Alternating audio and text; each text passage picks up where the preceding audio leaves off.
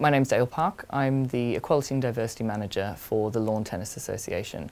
So we are the governing body for, for British tennis. And my story, I guess, revolves around always being interested in sport, always loving sport, always loving tennis. And I guess always feeling a little bit outside of what an athlete should be or what a sports person should be.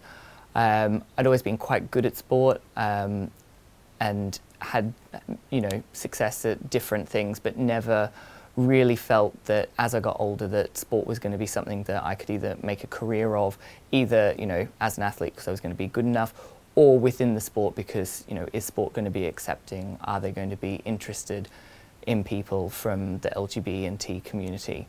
Um, and I think for me, getting into sport and working within, you know, the sporting field, there's been a major shift over the last, you know, few years, and we've had great role models, especially within tennis.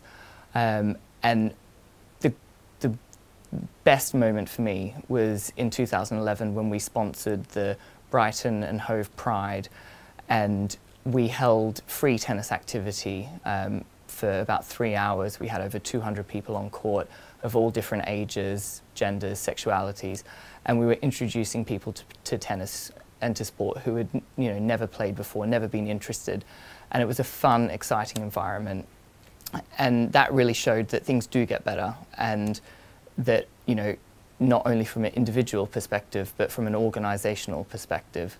So, you know we're on the right track, and you know things do get better.